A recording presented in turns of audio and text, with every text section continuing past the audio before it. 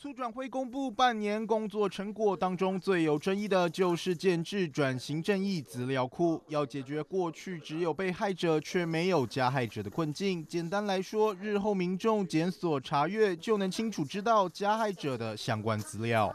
问题是出在这个名字取得非常的不恰当，他可以用比较中性的名词，但是寻求历史的真相本来就需要有这一些名字。如果我们连名字都不敢去触碰的话，那我想也不用再处理转型正义了。在认定加害者这个部分，转型正义它并非司法单位，更何况现在的处转会，现在社会的信任度事实上是不足的。那我们又担心政党拿来去做太多的政治操作。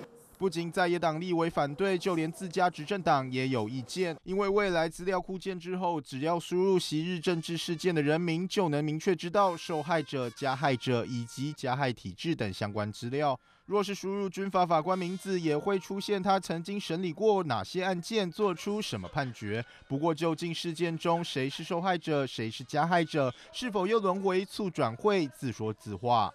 这件事情早就该做了，也是促转会唯一能做的事情。因为有限促转会有限的人力跟有限的经费，根本不可能做到就责。里面很多人真的是共产党当初共产党派来台湾的地下组织嘛？那同样的，所谓的加害者，这些这些情治单位的人，有些真的也是忠于国家在做事的嘛？那没有关系，我觉得就让历史的真相去还原。